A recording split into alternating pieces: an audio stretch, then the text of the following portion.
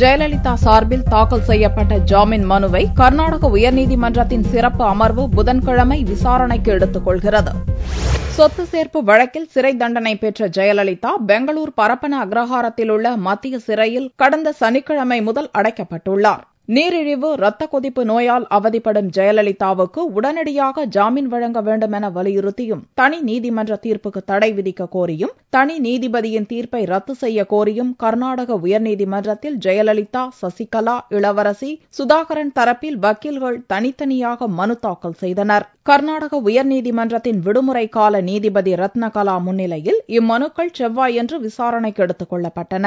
அப்போது தனி நீதிமன்றத்தில் அரசு தரப்பு வக்கீலாக செயல்பட்ட பவானி சிங் நீதிமன்றத்தில் ஆஜரானார். ஜெயலலிதாவின் அப்பீல் மனு விசாரணையிலும் தானே அரசு தரப்பு வக்கீலாக நியமிக்கப்பட்டுள்ளதாக தகவல் வந்துள்ளதாகவும் ஆனால் அதற்கான முறையான அறிவிப்பு கடிதம் எதுவும் கர்நாடக அரசிடமிருந்து வரவில்லை என்றும் கூறினார். எனவே இவ்வழக்கில் அரசு தரப்பு வாதத்தை எடுத்து வைக்க அவகாசம் கோரினார். இதை ஏற்று மனுதாரர்களின் வழக்கு விசாரணையை அக்டோபர் ஆறாம் தேதிக்கு நீதிபதி ரத்னகலா ஒத்திவைத்து உத்தரவிட்டார்.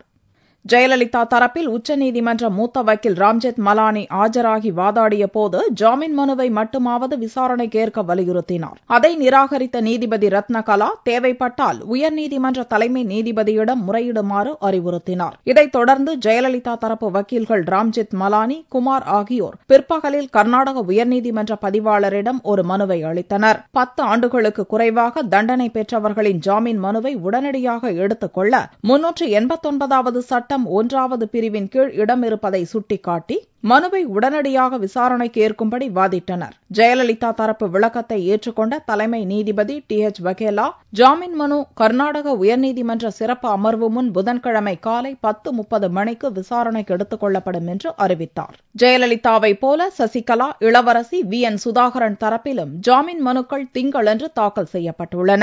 இதன் மீதும் புதன்கிழமையன்று காலை பத்து முப்பது மணிக்கு விசாரணை நடக்க உள்ளது